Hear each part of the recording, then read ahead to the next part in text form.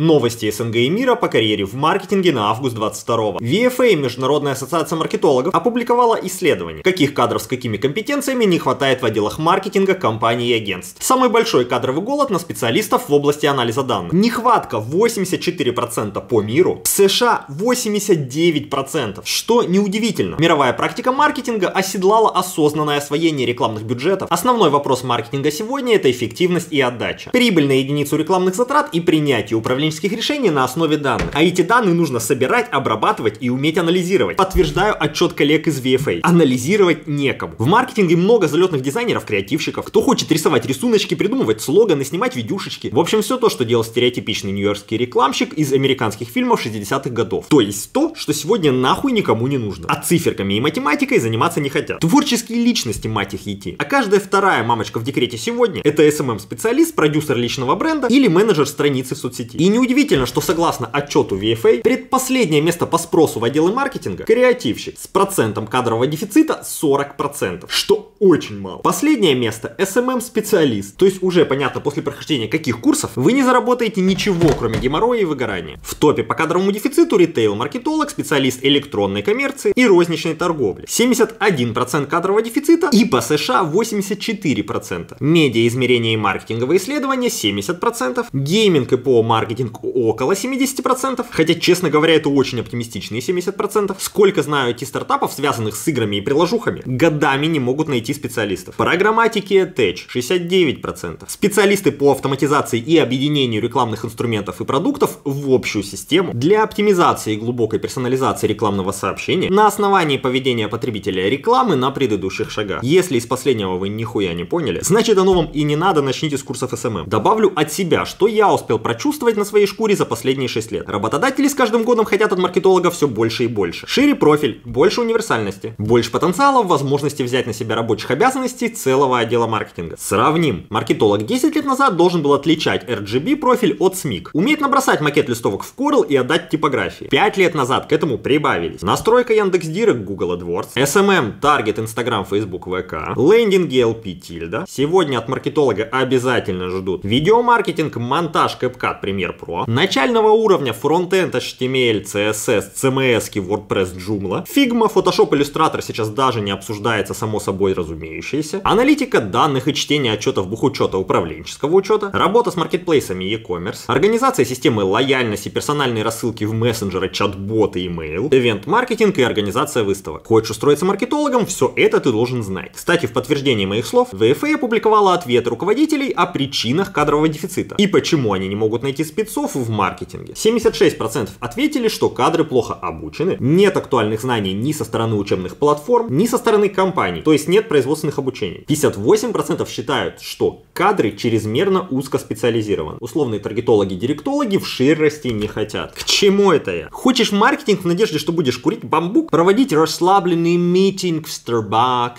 Always cup of juice. Закаточный тупит in the potluck on the brainstorm. То земля тебе пуховиком. Будешь и чтец, и женец, и на дуде и грец. Однако ложка меда. Согласно исследованию Superjob, строить карьеры в маркетинге, рекламе и пиар стали быстрее. Карьерный путь к большинству middle и топ должностей стал короче. Директорами по маркетингу сегодня становятся в среднем за 5-6 лет с начала карьеры, хотя еще в 2015 году данный путь составлял 9 лет, а это зарплата от 3,5 тысяч долларов по РФ. Руководителями отдела маркетинга, рекламы и пиар сегодня в среднем становятся за 4 года, ранее за 6-7 лет. Зарплата по регионам РФ от полутора тысяч долларов. В 22 года закончил универ, работаешь по специальности, в 26 лет уже руководитель отдела маркетинга. И это правда. Я эти должности получал в этом же возрасте. Карьеры в маркетинге и IT сейчас у ребят стремительные. Если у вас есть вопросы по карьере в маркетинге, пишите в комментариях, разберем, поговорим.